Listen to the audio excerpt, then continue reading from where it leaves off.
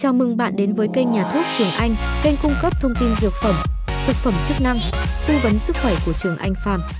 Nội dung trong video này sẽ tìm hiểu về sản phẩm Stone Baby. Quý độc giả thân mến, để sử dụng thuốc an toàn và hiệu quả, hãy tuân thủ đúng theo chỉ định từ bác sĩ hoặc tìm hiểu hướng dẫn sử dụng an toàn từ dược sĩ. Không tự ý sử dụng thuốc hoặc sử dụng thuốc bị chống chỉ định, vì điều này có thể gây hại cho sức khỏe. Nếu như bạn quan tâm tới thông tin về Stone Baby cũng như cách sử dụng sản phẩm, thì hãy theo dõi hết video mà Trường Anh Farm chia sẻ dưới đây. Thành phần của Stone Baby. Hoạt chất paracetamol. Dạng bào chế. Dạng cốm. Công dụng và chỉ định. Điều trị các triệu chứng đau nhức hoặc sốt trong các trường hợp. Cảm lạnh, cảm cúm, đau đầu, đau cơ xương, bong gân, đau khớp. Nhiễm khuẩn đường hô hấp trên, đau tai, đau họng, viêm mũi viêm xoang do nhiễm khuẩn hay do thời tiết. Sau phẫu thuật cắt amidan, nhổ răng, mọc răng, nhức răng. Cách dùng Thuốc dùng đường uống Liều dùng Hòa tan thuốc vào lượng thuốc thích hợp đến khi tan. Cách mỗi 6 giờ uống một lần, không quá 5 lần một ngày. Liều uống trung bình từ 10 đến 15 mg một kg thể trọng một lần.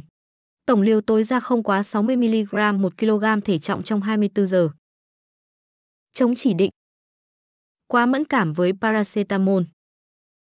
Các trường hợp thiếu hụt men gluco 6 phosphate dehydrogen A, suy chức năng gan, có tiền sử sỏi thận, lá on chuyển hóa oxalate, bệnh thalassemia.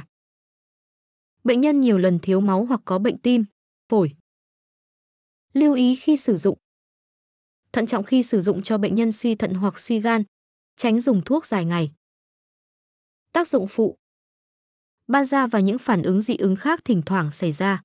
Thường là ban đỏ hoặc mày đay, nhưng đôi khi nặng hơn và có thể kèm theo sốt do thuốc và thương tổn niêm mạc. Người bệnh mẫn cảm với salicylat hiếm mẫn cảm với paracetamol và những thuốc có liên quan.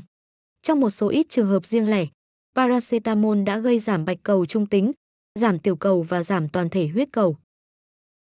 Tương tác Uống dài ngày liều cao paracetamol làm tăng nhẹ tác dụng chống đông của coumarin và dẫn chất indandiol.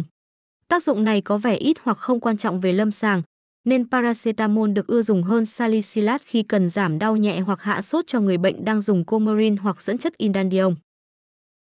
Hy vọng, qua những chia sẻ trong video này của Trường Anh Farm sẽ giúp quý bạn đọc hiểu rõ hơn về sản phẩm Stone Baby, đồng thời biết cách sử dụng Stone Baby sao cho đúng và hiệu quả. Nếu có thắc mắc khác, hãy liên hệ tới bác sĩ điều trị để được tư vấn kỹ hơn nhé. Hãy là người tiêu dùng thông thái trong việc sử dụng dược phẩm để đảm bảo sức khỏe của chính bạn và người thân. Cảm ơn bạn đã theo dõi video. Nếu như bạn thấy video hay, có ích và để cập nhật thêm nhiều thông tin về các sản phẩm dược phẩm, mỹ phẩm cũng như các loại thuốc hoặc thực phẩm chức năng khác, vui lòng nhấn đăng ký và theo dõi kênh nhà thuốc Trường Anh của Trường Anh Farm.